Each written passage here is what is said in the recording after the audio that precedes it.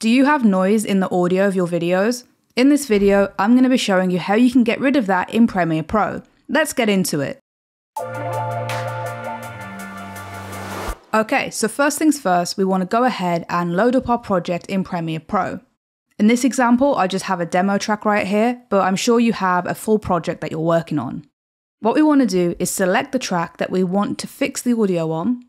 We want to go up to effects and in the search bar here, search for denoise. This will bring up this noise reduction effect. What we need to go ahead and do now is drag this down onto the audio track.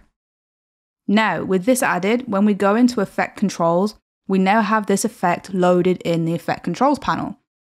Now what we can do is we can play through our audio with the edit window open.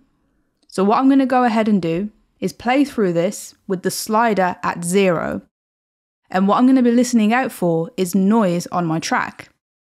Now, as we're listening along to this, we're going to adjust the slider up until it gets to a point where the audio sounds how we want it to sound. A lot of people go straight into this and whack it right up to 100%, but that can completely distort your audio and it depends on the environment that you recorded in.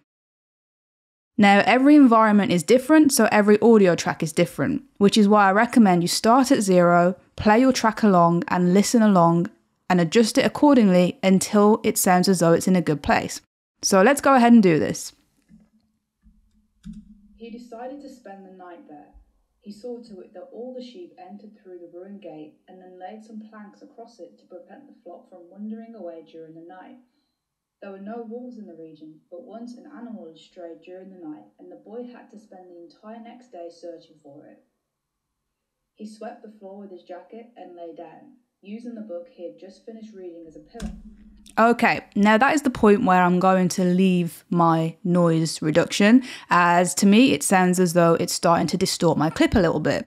But like I said earlier, it will be different for every person as every scenario is different. So all you have to do is play through your clip like we just did and adjust this slider accordingly and that will reduce the noise that you're hearing in your video clip.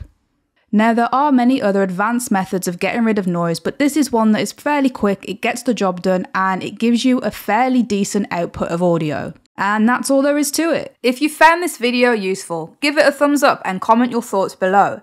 And for more Creator Fix tutorials, hit that subscribe button and I'll see you in the next one.